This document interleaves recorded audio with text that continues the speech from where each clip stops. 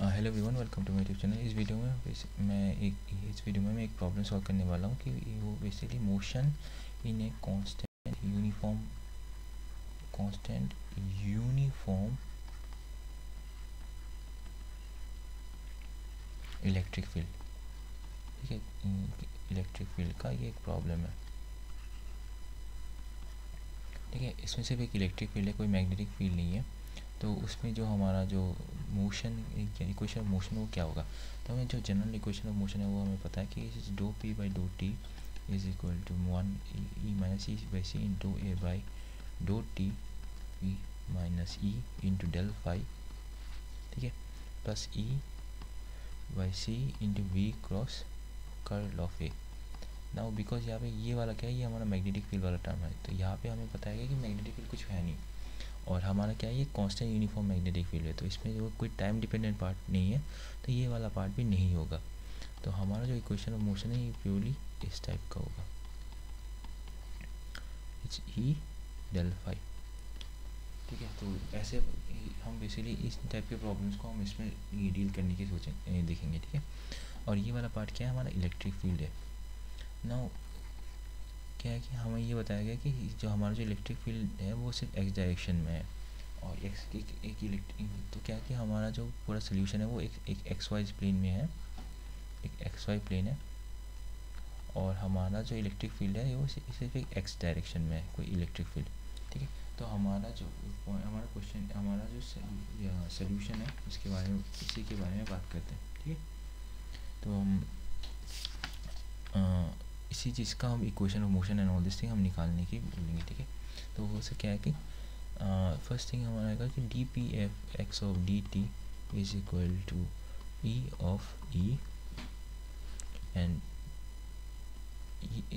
अगर x and Y हम basic कुछ नहीं, बस एक्स एंड वाई डायरेक्शन को ऐसा इसको अलग, इस पॉइंट में अलग करें तो ये होगा E E and D P Y is equal by D T is equal to zero जैसे ये इलेक्ट्रिक फ़ील्ड हमारे इसी डायरेक्शन में है और इसका वैल्यू ई है, ठीक है?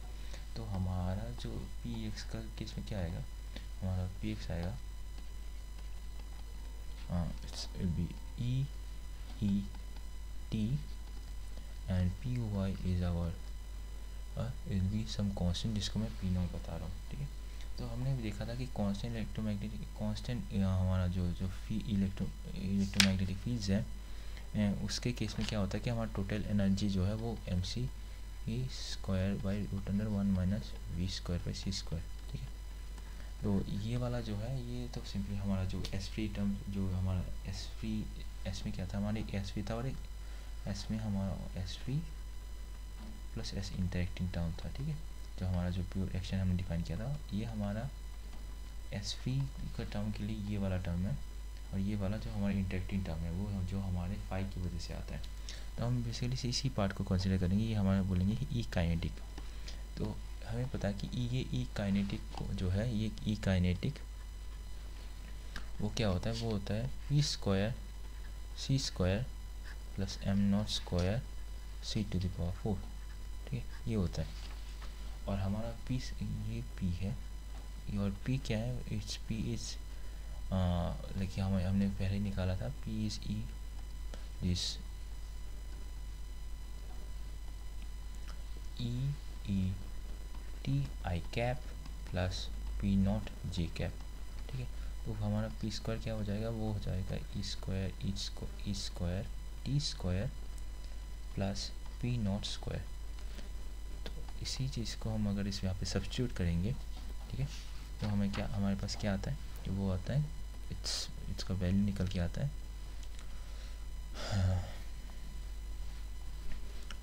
P not square plus M not square C to the power four plus C इस square sorry E P square C square या एक टर्म होगा एंड यहाँ पे इस square each square T square और यहाँ और एक टर्म होगा सीट स्क्वायर ठीक है? तो ये वाली टर्म को मैं क्या करता हूँ, इसको मैं ई नॉट बोल देता हूँ, ठीक है? बिकॉज़ ये कांस्टेंट है।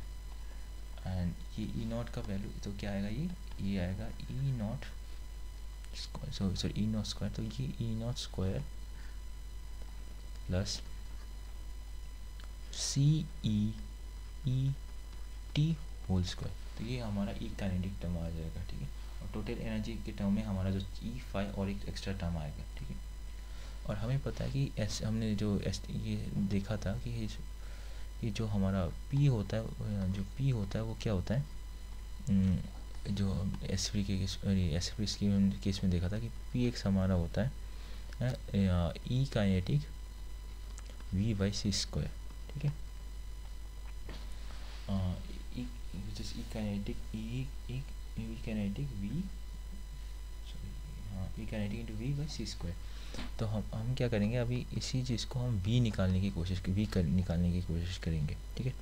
तो हम हम स्पेसिफिकली वी ये वी एक्स होगा तो बिकॉज़ हम पी एक्स कंसिडर कर रहे हैं तो ये होगा V X into P X E kinetic by C square और इसको अगर हम यहाँ sorry P X sorry it's नीचे आएगा it's P X C square by E kinetic इसको हम, अगर ये ई काइनेटिक टर्म यहाँ पे नीचे सब्सिट्यूट करें, यहाँ पे सब्सिट्यूट करेंगे और पी एक्स वाला टर्म ऊपर सब्सिट्यूट करेंगे तो ये फॉर्म आता है, क्या आता है? ये फॉर्म आता है C square E T by root under E not square plus C E E T whole square ठीक है? ये होगा हमारा वी एक्स का टर्म हाँ ठीक है? और हमें वी एक्स पता है वो क्या है? V X is D X by D T तो ये D X by D T is equal to हमारा ये आ जाता है। ये एक इसी स्क्वायर सॉरी इसी square each square square E T by E not square it's E not square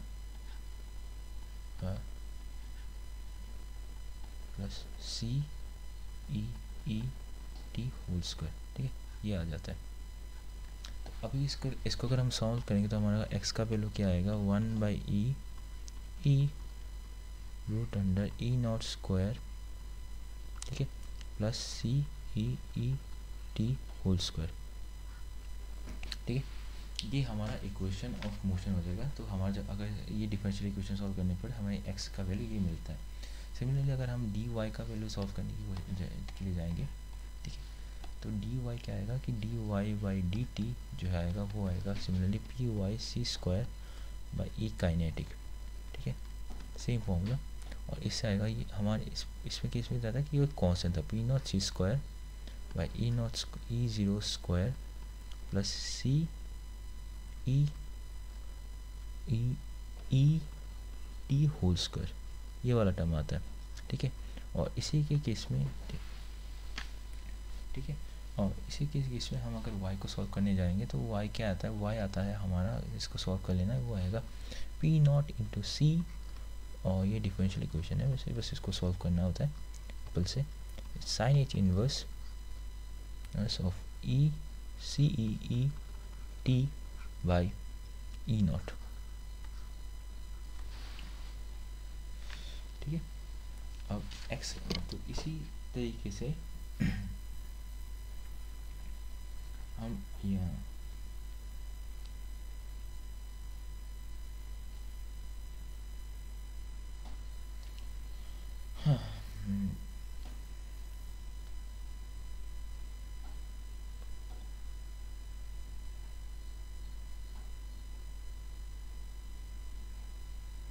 अभी क्या कर सकते हैं, हम ऐसे यहाँ पे जो टी क्या क्या क्या है कि हम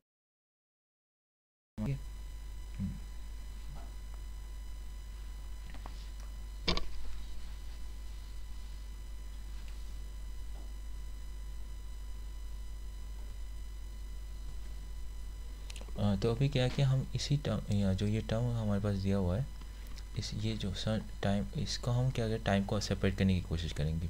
तो क्या होगा कि E E of Y by P not C is equal to sine H inverse C E E T by epsilon zero तो उससे क्या आएगा कि sine of H of E E Y by P not C is equal to C E E of T by E not ठीक है।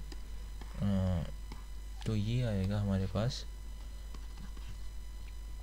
तो ये हमारे पास क्या आएगा? ये अकॉर्डिंग तो अगर इसको टाइम को हम रिप्रेजेंट करना चाहेंगे तो ये आएगा ई नॉट और ठीक है E not by C E E by sine H E E Y by P not C ठीक है, ये आ रहा है हमारा टाइम अब इस टाइम को हम क्या करेंगे? इस टाइम को अगर हम जब इसी, इस इक्वेशन में सब्सिट्यूट करेंगे तो हमारे एक्स और वाई के टर्म में हमें एक इक्वेशन मिलेगा और वो इक्वेशन आएगा कुछ ऐसा